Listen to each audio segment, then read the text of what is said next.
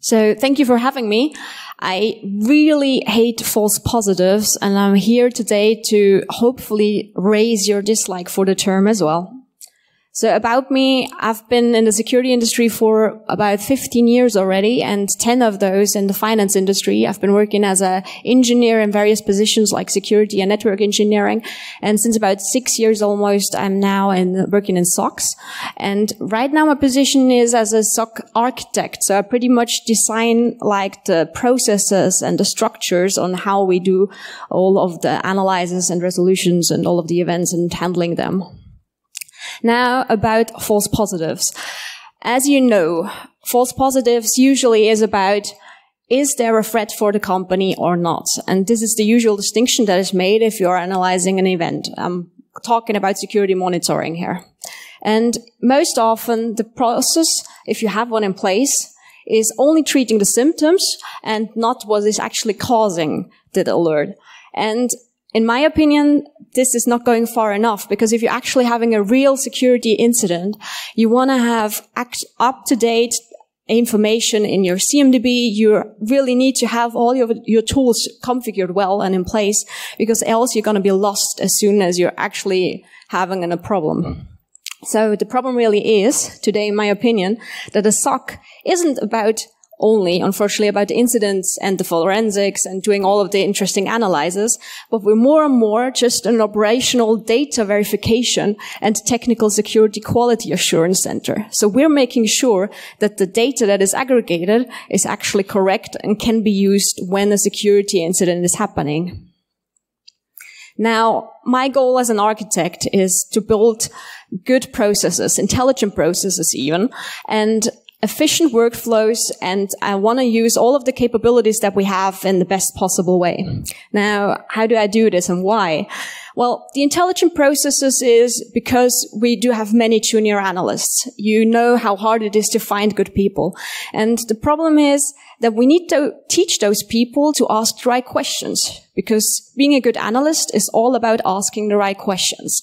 And so I tried to build those right into the processes um, so they can learn by following the process what the questions are that they need to ask. I try to build efficient workflows to not blunt and bore out my people because what I've also seen is really many people bore out, burn out in working at SOCs because they have so many false alarms. They get an alarm and they already know that they don't need to treat it the way and with the priority that it should because they're already expecting it to be a false alarm. And so the attention isn't there and in my experience, it's also if you're looking for a false alarm or an issue, then you'll always find one. So it's like you won't even see the signs that would distinguish it from a real event. And the other thing really is a little bit the buzzword thing for the management as well. you want to use the capabilities like the best way you can because management has trusted you money to spend on devices. And if you don't use that money well, they won't give you more in the future. Now, how did I do this? I created a taxonomy. And this taxonomy I released in a paper about a year ago. And um, I first presented it on it at first this summer in Edinburgh. It's pretty much eight different categories and I distinguish between the solution types, so um, who can do something about it and who is it important to, and the alert calls. And I distinguish between the if it's a process problem or a configuration problem, because I don't know if, how many of you have ever heard of the three Ps. That's pretty much what management uses. They're usually talking about people, about processes, and about products. So what I want to show is in terms that they understand where we need improvements. And in my opinion, the only thing that should be done on people is get them better ed education. So I really focus on the processes and the configuration problems. Now, we start with the first two categories. These are the categories that reflect errors that can be corrected in a SOC internally. You have the announced administrative user actions on the left side, which is a process problem, and you have a log management rule configuration error.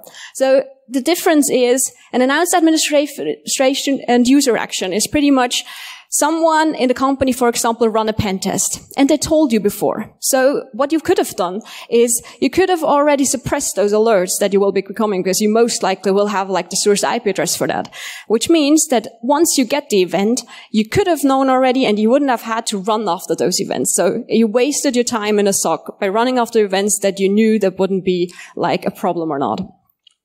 And the other category are the log management rule configuration errors. These are errors in your SIEM. So the rules that you are alerting on, you configured the wrong way and you want to correct them because you are the one that can best like improve on this and make sure that you won't be alerted for the same false alert again. So this can be that the pattern was wrong or that you misunderstood something, that a log source wasn't used the right way and you can implement the action on it. Um, and you see, I distinguish here like with the next steps that you can take, and it's um, like what I just said with verifying what is actually meaningful, because um, it, it's very possible that things are alerted that you don't want to actually alert on, because the policy might even be allowing it, or you don't have like clear um, guidelines set out for your company. What is an allowed action? What is a known good? What is a um, a known evil. I mean, you can go from that. So you want to distinguish. So this is stuff that you can really impact yourself. You're not lost on those events. And the next categories are actually the worst ones. These are the ones that you need to work through your company with. You have the unannounced administrative user actions and the detection device rule configuration errors. So what is meant with those is you either have user doing stuff that they shouldn't be doing and they don't tell you before. It's, for example, the network engineer that just wanted to run an nmap scan to find out if that and that host is actually up but it's going to create an alert with you. And if they didn't tell you before and it wasn't followed the process, they might be either doing something that they shouldn't be doing, or you could at least make sure that it's done in a way that you can detect so you won't run after problems that aren't actual problems.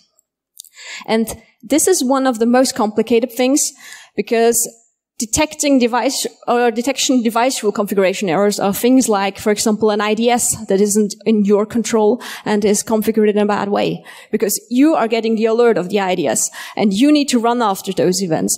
And if this is co not configured well, and for example, there's rule sets active in the IDS for systems that aren't working in that subnet. So you're running after events that never made sense at all.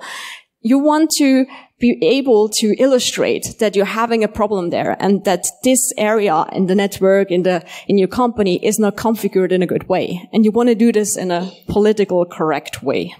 So these statistics that you get at the end of the month will help you illustrate that you're not the one with the problem, but your false alarms that you're getting are actually caused by misconfigurations in the company and that it needs to be like approached in a bigger way and in a better way and by talking to all of those teams.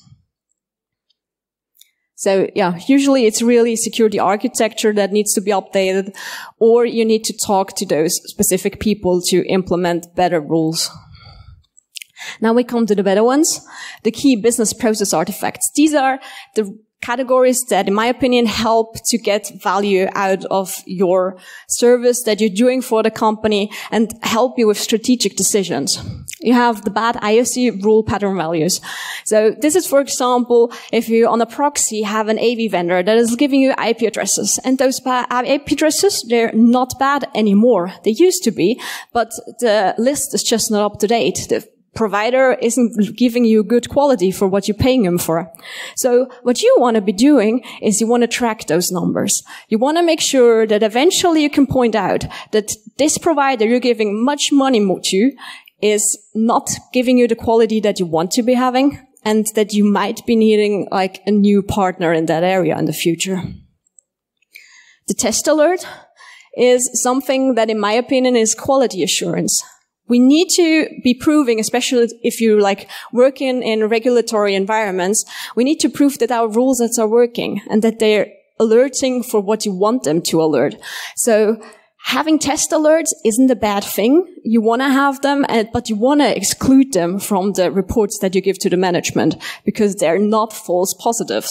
And um, if you distinguish it the right way, then you can filter them out.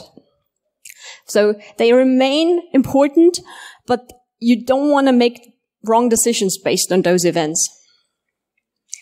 Now we come to the fun ones.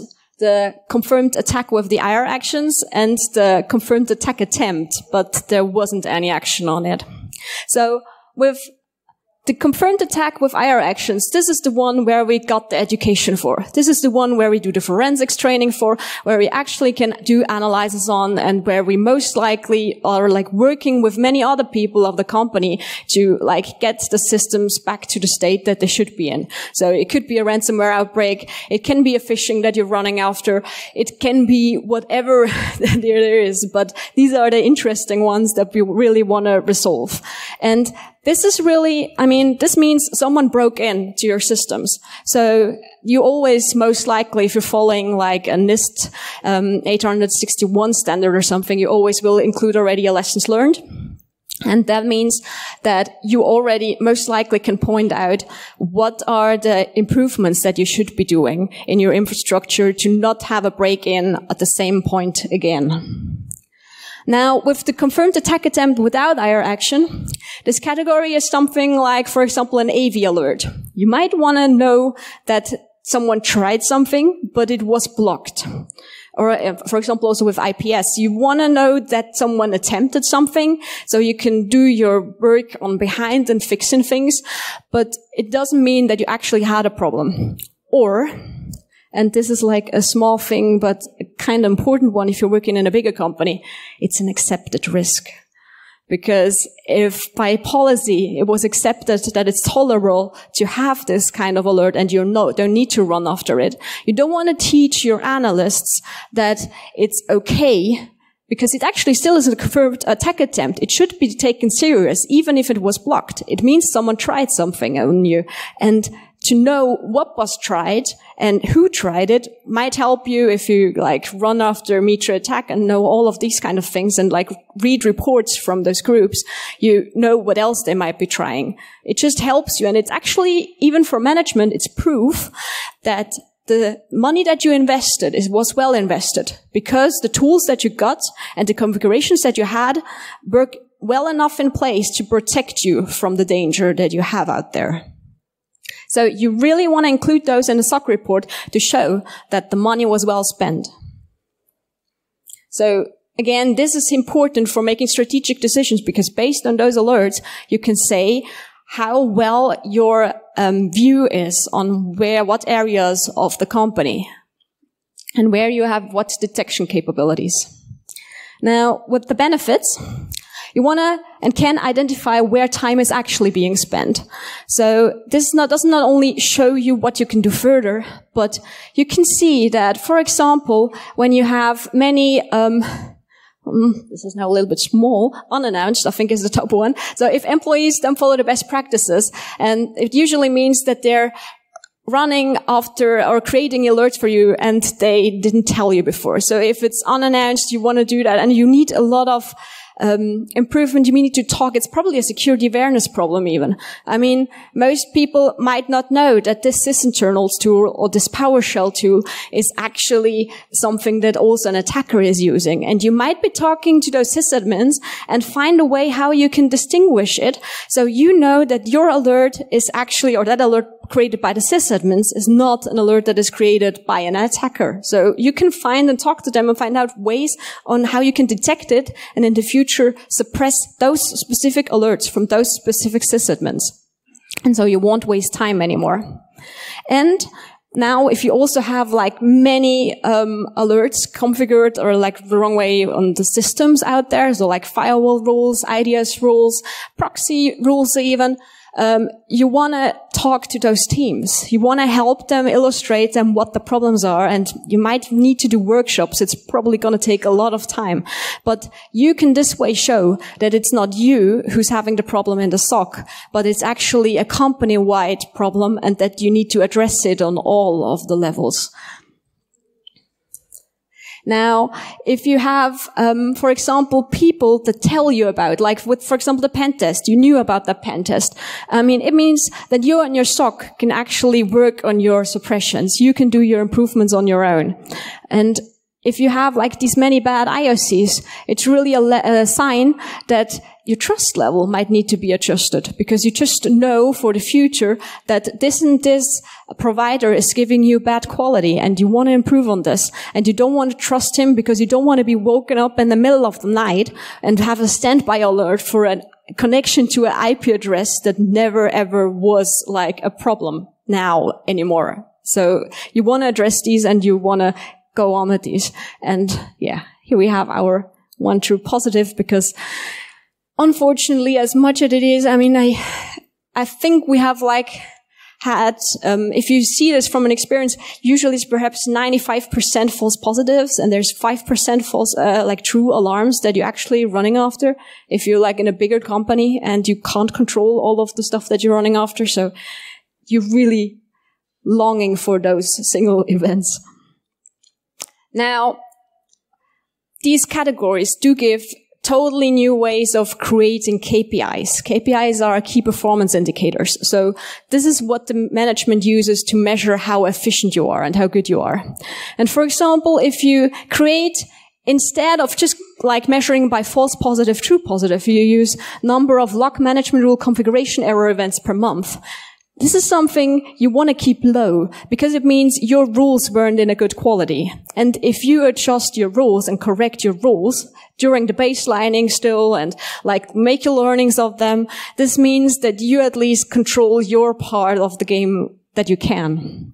And having less than 10%, I would say, is a pretty good quality and shows that you have good people that know what you do, what they're doing in the SOC.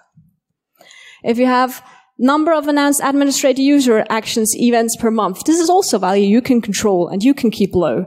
Because, I mean, you can never, like, I totally understand if you get those alerts because, or there's this um, information that there is a penetration test. You probably won't have all of the things suppressed beforehand.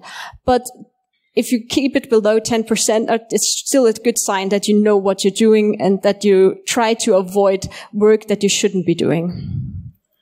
Now, with the number of bad IOC rule patterns values, I would say if you have more than 5%, it shows that you really need to like make sure that for the future, these kind of alerts don't alert anymore in the same critical way as they are right now. So you want to have track of those. It's, it's really goals that you can work towards too. And now with the number of confirmed attack attempts without IR actions, I mean, this is the category that should be the highest. In my experience, the number of unannounced administrative and user actions. So people doing crap on their machines and doing stuff that they shouldn't be doing, executing things they shouldn't be doing. And it was somehow in the environment that they're working at allowed that they could do it. This is unfortunately what happens the most in my experience, but this should be what you're doing. You should be protecting the environment and you should be showing that your protections are working and that you can resolve all the things and block them on an early stage. And without IR actions, for me, really is like the next level where you get all of the people on board and the cert active and running. So, and this the last one is the attack attempt with the IR actions. There we have the problem. If the number is very high, it means your architecture is crap. You pretty much are running after too many events because you're not preventing them, you're not detecting them early enough. You will need to invest to make sure that you're not constantly like trying to solve fires all over the company because you can't do like what you should be doing if you're just running and solving fires all the time. And if the number is very low, it means that the rules that you are detect uh, that you have for detection probably aren't as good as they could be. Because, I mean, it can also be that everything is safe, but you might also just want to get more rules then and improve your rules and like go through those MITRE ATT&CK techniques, find out what else you can detect on, see what else you log sources you have to detect further things earlier in the cyber kill chain. Um, this picture is actually taken from the paper that I've released. So the paper really was about six pages, published it last year. It was recently peer reviewed by ACM and should be published in the next DTRAP journal, special edition. And um, so I'm quite proud of that. It was actually peer reviewed and they like also thought that it was a good idea to just um, start to find out what is actually happening. And the thing is, if you start to improve your environment, like with every action and every alert that you get, you will most likely break snake oil AI. Because I've recently learned that there are providers that want to um, assume when an alert pops up if this is a false positive or not. Well, that this algorithm can do this, it needs a learning base, which is constantly the same over about six months or so. So if you're improving and actually adjusting your infrastructure all the time, it can't learn on a stable basis and the predictions won't be correct. So I'm sorry that I break your snake oil AI with that, but I actually think it's kind of good because we don't want to be using and spending money on something that isn't actually solving the problems because they're still promoting running and getting alerts for rules that aren't configured in the best way. So you always want to have the best possible configuration. So I'm fine with this. Um, so my next thing really is call to action. Implement those rules. I um, them with Creative Commons license. The paper is documenting for analysts in a technical perspective how you can do it, what you are the examples that you can use it for, what is the thought behind it, and I also submitted it to um, the MISP repository with the taxonomies there. Um, it's all Creative Commons open source. Use it make experiences with them, tell me how they are, if it helps you illustrating the problems, and then we can further improve on it and tell those managers who mostly also, unfortunately, only junior managers in security, um, what the actual problem is and that it's not us, the SOC, but that we have so much work to do over all of the company. So that's it. Thank you.